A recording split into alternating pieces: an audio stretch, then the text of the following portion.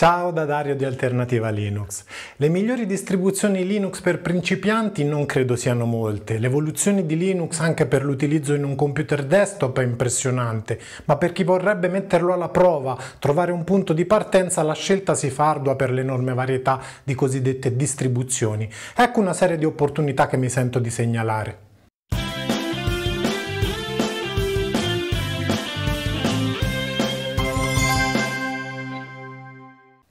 Circa un anno fa, con il primo post su quelle che consideravo le migliori alternative a Windows nel 2020, è cominciata l'avventura di Alternativa Linux, seguita in estate in concomitanza con il rilascio di Linux Mint 20 dalla pubblicazione del primo video nel canale YouTube. E sebbene per la grande popolarità e la simpatia il mio punto di partenza sia Linux Mint, ci sono differenti approcci che mi sento di segnalare e suggerire, sia a chi Linux non l'ha mai provato ma ne avrebbe voglia, sia a chi magari l'ha provato qualche anno fa e non sa che lo scenario scenario completamente cambiato nel giro di 3 o 4 anni. Ecco una serie di proposte che consentono di mettere alla prova Linux sul proprio computer, sfatando i miti di difficoltà, incompatibilità varie, grafica misera o disponibilità scarsa di software pure scadenti. Oggi la temuta shell, la riga di comando per istruire testualmente il sistema, non è più un obbligo per installare, configurare o utilizzare una distribuzione Linux con profitto. Zorin OS è una distribuzione per cui ho simpatia, coniuga una solida base Ubuntu LTS con una grande pulizia dell'ambiente grafico, privo di fronzoli o distrazioni, caratteristiche che apprezzo molto. La ritengo molto adatta a non esperti e principianti di Linux per la semplicità di utilizzo e configurazione delle impostazioni. Adotta un ambiente desktop appositamente realizzato ma basato sul progetto Gnome, essenziale ed elegante, dotato di temi chiari e scuri. Zorin OS può essere scaricato gratuitamente nella versione essenziale chiamata Core, con una buona base di programmi preinstallati, tra cui la suite LibreOffice, GIMP, il solido client di posta e agenda Evolution, l'editor video PTV e alcuni giochi. Ci sono anche un'edizione per scopi educativi con apposita dotazione software e una Ultimate a pagamento. Questa prevede supporto per l'installazione, una ricchissima quantità di programmi e giochi preinstallati e superiori possibilità di personalizzazione grafica. C'è pure un'edizione Lite, perfetta per computer datati o netbook. Questa adotta una versione personalizzata dell'ambiente desktop XFCE ed è compatibile con architetture a 32 bit e adatta anche a sistemi dotati di 1 GB di RAM RAM e schermi con risoluzioni minime. Benché non si tratti di una novità nel panorama Linux, segnalo anche Zorin Connect, utilità associata ad una app gratuita per dispositivi mobili. Consente di connettere telefono o tablet tramite wifi al computer per ricevere notifiche sul desktop, visualizzare foto scattate nel PC, gestire messaggi e usare lo smartphone come touchpad o telecomando. Zorin non è una distribuzione che consiglierei a computer datati o di fascia bassa, servono buona potenza di calcolo e non meno di 4 GB di memoria RAM. Ubuntu Mate o Mate, dal nome della yerba mate sudamericana, è la più giovane delle derivate ufficiali di Ubuntu e viene rilasciata in edizioni LTS e in edizioni intermedie con aggiornamenti per 9 mesi. La base di installazione e la dotazione di software sono pressoché le stesse della versione base di Ubuntu. Le versioni intermedie prevedono kernel e programmi in versioni più aggiornate rispetto a quelle presenti nella versione LTS. Nella versione 21.04 da metestata la versione di kernel è la 5 5.11. La dotazione di software è abbastanza basilare ma ovviamente integrabile. Trovi Firefox ed il client di posta Evolution, poi la suite LibreOffice nella versione 7.1, Celluloid come riproduttore video, Rhythmbox per la musica e Shotwell per organizzare fotografie. Spicca anche Software Boutique, una versione particolarmente curata del centro di installazione dei programmi presenti nei repository ufficiali, per non perdersi tra le oltre 50.000 applicazioni installabili.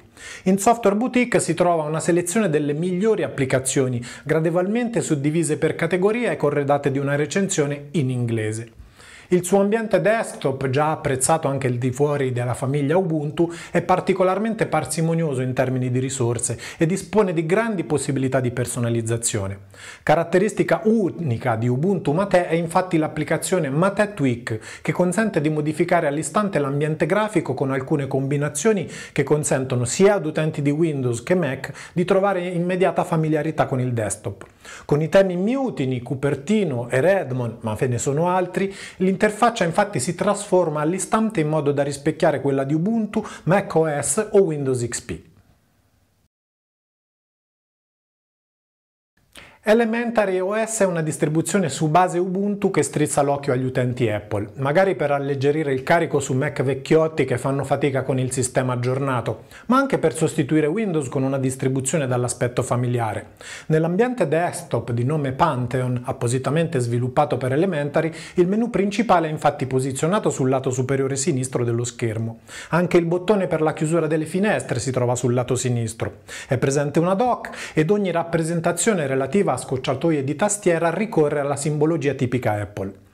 Elementi caratteristici della distribuzione del desktop Pantheon sono alcune applicazioni, tra cui il browser Epiphany ed una versione modificata del client di posta Geary. Si trovano inoltre foto, che oltre alla visualizzazione consente alcuni interventi di ritaglio e correzione di colore, musica, video, calendario ed il file manager Files.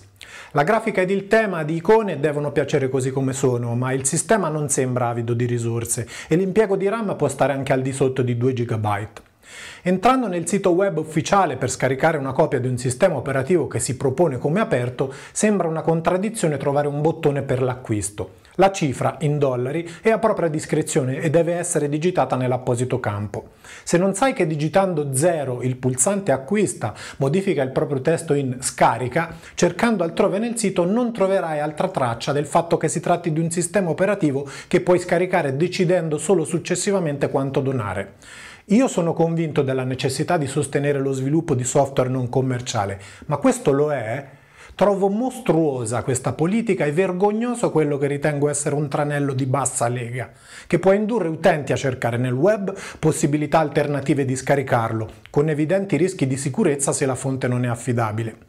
La dotazione di software predefinita di Elementary si riduce alle applicazioni citate e poche altre, quindi si dovrà dotarlo almeno di una suite di programmi da ufficio. Accedendo al suo centro software organizzato in stile Ubuntu, ritornano le cifre, sempre solo in dollari, per l'acquisto di quelle poste quasi sempre in cima all'elenco. Anche in questo caso si tratta di cifre suggerite che invitano a pagare un prezzo equo allo sviluppatore di questa o quella applicazione possono essere modificate e per le poche prove che ho fatto anche messe a zero. Si tratta di un ottimo meccanismo per indurre programmatori a sviluppare applicazioni e per creare opportunità e questo è certamente positivo. Ma io penso che l'open source sia un'altra cosa. Specie se vai a cercare LibreOffice nell'elenco delle applicazioni da ufficio del centro software e segnali di pericolo e avvisi ti dicono che la tua sicurezza non è garantita se lo installi. Ho fatto lo sforzo di segnalare Elementary malgrado la mia opinione. Qualcuno avrà da ridire, ma non ci perderò certo il sonno. Deepin è una distribuzione di origini cinesi davvero curatissima, basata sul ramo stabile Debian e disponibile per architetture a 64 bit. Adotta un ambiente desktop davvero unico e gradevole di apposita realizzazione, DDE. Questo richiama contemporaneamente elementi degli ambienti Gnome, Microsoft ed Apple nella sua forma predefinita. Il menu Start sul lato sinistro può essere espanso a tutto schermo, come nell'ambiente Gnome, ed è presente una dock per le applicazioni di utilizzo più comune nella parte centrale della barra. Ma è anche possibile passare dalla modalità Fashion ad una efficiente per un aspetto più simile a quello di Windows. Deepin, che nella versione 20.2 si appoggia ai repository di Debian 10.8 stabile, prevede un lungo elenco di applicazioni ed utilità realizzate dal suo team, che coprono quasi tutti gli aspetti di utilizzo fondamentale di un sistema operativo. File manager, browser, utilità di sistema, programmi multimediali di vario genere, oltre alla gestione di driver proprietari per schede grafiche ben congegnato. In ognuna delle applicazioni si può notare una grande cura di dettagli utili e attenzione ad un aspetto intuitivo, originalissimo e gradevole. Per ognuna di esse è disponibile il link da cui scaricare e verificare il codice sorgente in pieno spirito open source. Il programma per la gestione di aggiornamenti è altrettanto ben studiato ed esegue automaticamente un backup della configurazione prima di applicarli, al fine di tornare allo stato precedente in caso di problemi. La documentazione ed il manuale incluso sono in lingua inglese, ma la distro è prevista anche in lingua italiana e non ho trovato alcuna traccia di traduzioni approssimative o incomplete nell'utilizzo. Dal sito web è possibile raggiungere una sezione wiki per approfondire aspetti più comuni legati all'installazione, l'utilizzo e un forum generico ma in cui gli utenti che scrivono in inglese sembrano comunque trovare supporto. Deepin è rilasciata con la versione di LibreOffice che corrisponde a quella presente nei repository Debian e quindi non aggiornatissima, ma oltre alle possibilità di integrazione software tramite il suo store, la dotazione predefinita è in grado di soddisfare da sola le esigenze di base di molti utenti. Nella versione 20.2 è disponibile una modalità dual kernel che consente di avviare il sistema con la versione 5.10 o con la recentissima 5.11 per facilitare il supporto per hardware più recente. Da quello che ho verificato consiglierei l'installazione di Deepin su computer dotati almeno di 2 GB di RAM, meglio se 4. Linux Lite 5.4 è una distribuzione GNU Linux leggerissima basata su Ubuntu 20.04.2 LTS. Il suo ambiente desktop è XFCE e chi non lo conosce troverà grande familiarità con l'aspetto di Windows XP. Il suo file manager è Tuner, quello tipico di XFCE. Si tratta di un sistema operativo perfetto per i computer meno dotati di memoria RAM perché ho verificato che il sistema ne impegna circa 600 MB se non sono in corso altre attività. L'ambiente XFCE non è comunque povero di possibilità anche di personalizzazione grafica ed il centro di controllo da cui gestire ogni impostazione di sistema è completissimo. Linux Lite ha una buonissima dotazione di software, tra cui il browser Firefox, il lettore multimediale VLC, GIMP ed altre utilità per la grafica, oltre la suite LibreOffice. Non manca l'utilità per lo scaricamento e applicazione di driver grafici proprietari che consentono di sfruttare l'accelerazione di schede grafiche Nvidia. È garantito il supporto nativo di stampanti HP ed è presente un programma per l'utilizzo dello scanner. Il centro software è semplicissimo ed essenziale. È possibile effettuare una multiselezione di applicativi da installare ed impartire il comando di installazione solo al termine delle operazioni.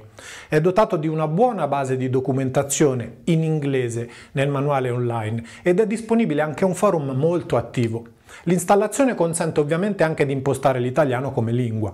Qua e là ho trovato alcuni testi non tradotti dall'inglese ma senza grandi limitazioni nell'uso. Malgrado questa sua propensione al funzionamento su computer con poca RAM, la base Ubuntu più recente consente di adottarlo solo su architetture a 64 bit.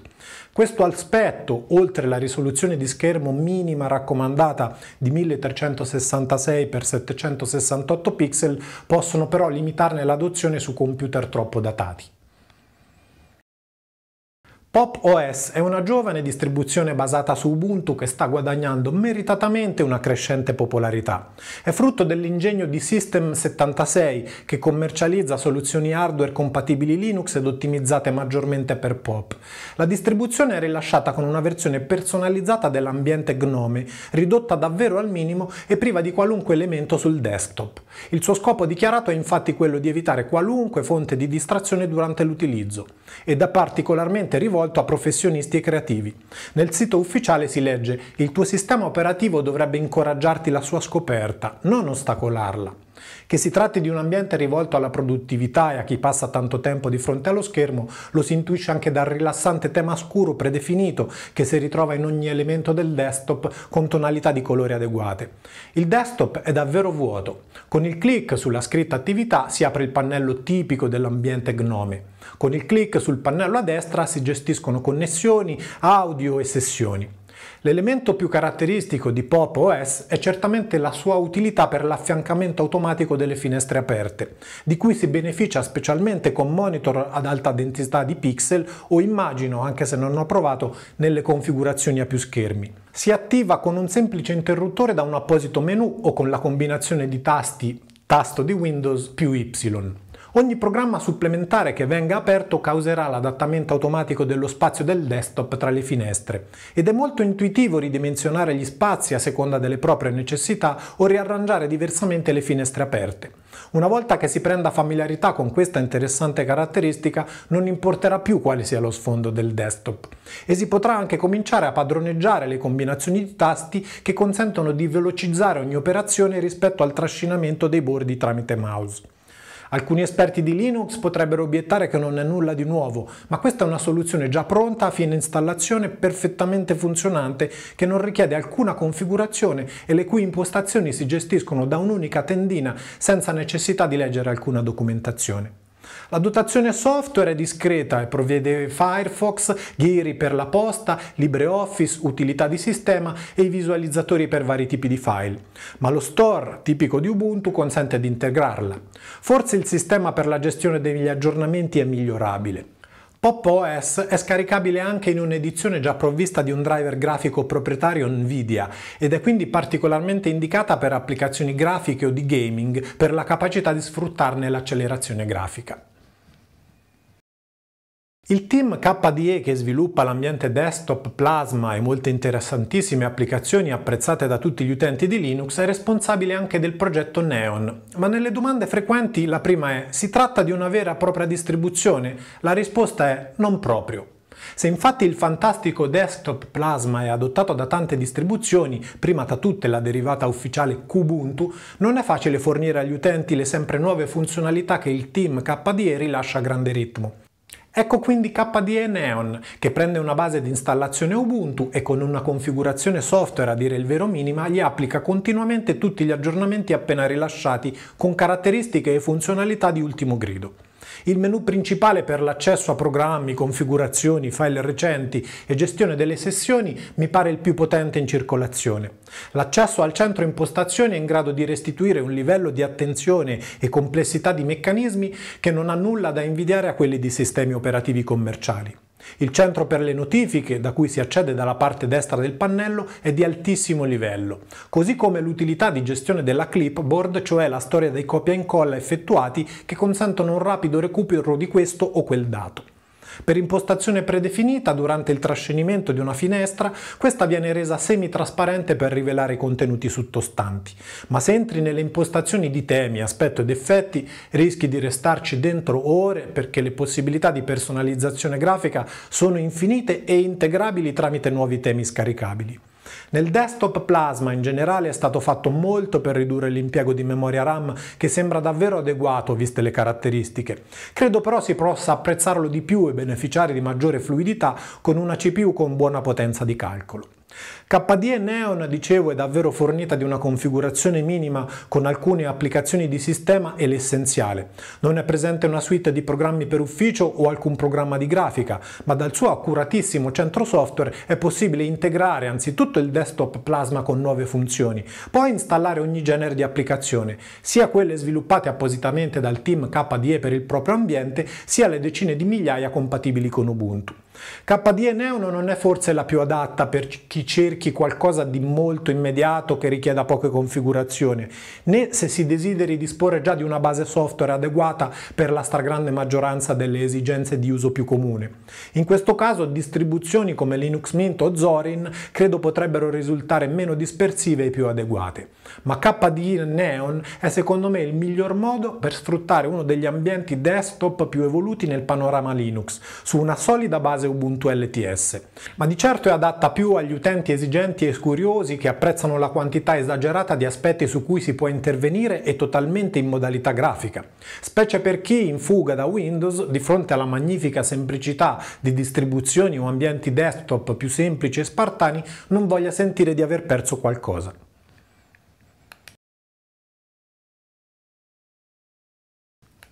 Linux Mint è una distribuzione popolarissima che vive di donazioni e sponsor. Su testi e riviste di settore è considerata spesso una delle più semplici possibilità di approccio a Linux per principianti.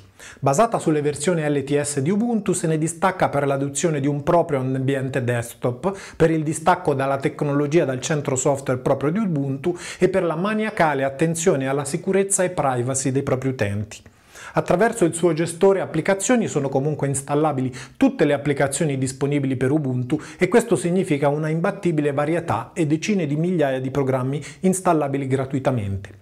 Linux Mint è un esempio di distribuzione pronta all'uso e coniuga una ricca dotazione di software open source preinstallato con la disponibilità di driver e programmi di terze parti. Queste garantiscono un utilizzo immediato di schede grafiche e la riproduzione di file multimediali di ogni genere. Sono infatti inclusi nell'installazione anche driver proprietari per schede grafiche Nvidia che consentono quindi a Linux Mint di sfruttarne l'accelerazione grafica per applicazioni video e gaming. Sono inoltre integrati i driver proprietari per il supporto nativo di stampanti HP e un programma per effettuare scansioni. Uno dei maggiori punti di forza di Linux Mint è la sua comunità molto attiva, generosa, spesso interpellata e molto ascoltata dai responsabili del progetto che assecondano richieste di miglioramenti e nuove funzioni. Oltre all'edizione di punta chiamata Cinnamon, ne sono rilasciate altre due, rispettivamente con ambiente desktop Mate e XFCE, per computer meno performanti. Esiste anche una versione LMDE che fa a meno della base Ubuntu e si appoggia direttamente a Debian, ma non la consiglierei come prima distribuzione da provare per passare a Linux. Comuni a tutte le edizioni sono alcune applicazioni di sistema e per la multimedialità, la gestione di notifiche e le cosiddette applet che aggiungono funzionalità al desktop. E nelle ultime versioni sono state aggiunte Warpinator, un'applicazione per la condivisione di file tra postazioni all'interno della stessa rete locale che non richiede alcun server né alcuna configurazione e funziona anche collegando più postazioni all'hotspot dello smartphone. E Hypnotix, applicazione per la visione di internet TV integrabile integrabile con decine di migliaia di canali TV in chiaro di tutto il mondo e con contenuti premium. Linux Mint è parsimonioso in termini di risorse, occupa normalmente meno di un GB di RAM ed è difficile superare i 2 GB e mezzo per un utente medio. Gli aggiornamenti avvengono in 30 secondi senza imporre riavvio o la sospensione delle attività. I rilassanti temi grafici scuri sono davvero molto ben studiati e le tonalità di colori consentono un minimo affaticamento della vista anche con un utilizzo prolungato. Le ragioni per scegliere Linux Mint sono la sua diffusione, la quantità di documentazione presente in rete e la grande disponibilità dei suoi utenti a rispondere a domande e risolvere problemi nell'attivissimo forum, di cui esiste anche una sezione anche in lingua italiana. Chi padroneggi l'inglese potrà con certezza trovare soluzione per qualunque esigenza già con una ricerca web. Linux Mint Cinnamon è il mio sistema operativo da circa 4 anni e mi ha consentito di soddisfare qualunque esigenza per lavoro, sviluppo di applicazioni, siti web, grafica e multimedialità con il solo ricorso ad applicazioni open source. Il canale ed il blog da me curati da circa un anno contengono tante guide passo passo appositamente scritte per i principianti, per la scoperta, l'installazione, la configurazione e l'utilizzo di Linux Mint. Nel blog è infatti presente anche un lungo manuale d'uso. Sono di parte, ma credo che la quantità di informazioni che ho pubblicato potrebbero essere d'aiuto a chi scegliesse di mettere alla prova Linux partendo da Linux Mint. Bene, ho segnalato 8 distribuzioni anche se la scelta è stata dura perché ne ho escluse altre valide, l'intento era quello di non disorientare ulteriormente chi cerchi di avvicinarsi a Linux. Chi abbia già familiarità con Linux potrebbe non essere d'accordo con una selezione che doveva essere limitata e se mi venissero chieste le ragioni per l'esclusione di questa o quella distro non finiremmo mai. D'altra parte le mie pubblicazioni rispecchiano i miei gusti personali ed è così che le intendo. Fortuna vuole che chiunque possa scrivere ciò che vuole nel proprio blog, oppure accendere una telecamera, piazzarcisi davanti, dire quello che vuole e caricare un video su YouTube. Lo guarderei con interesse e non mi metterei certo a dirgli come avrebbe dovuto fare se non mi trovasse d'accordo. Nella descrizione ho messo il link alla recensione nel blog in cui trovare i link ai siti web ufficiali per lo scaricamento del sistema e quelli alla documentazione, al supporto e ai forum di assistenza. Se ti interessa Linux Mint, cliccando sul logo accanto al titolo del video ti ritrovi nella pagina principale del canale in cui, oltre ad una recensione più approfondita su Mint 20, trovi gli altri video sull'installazione, la configurazione ed altri. Nel blog, ripeto, è presente anche quello che chiamo manuale d'uso di Linux Mint e come gli altri contenuti lo integro e aggiorno spesso. Ti ringrazio per la tua attenzione, alla prossima, ciao!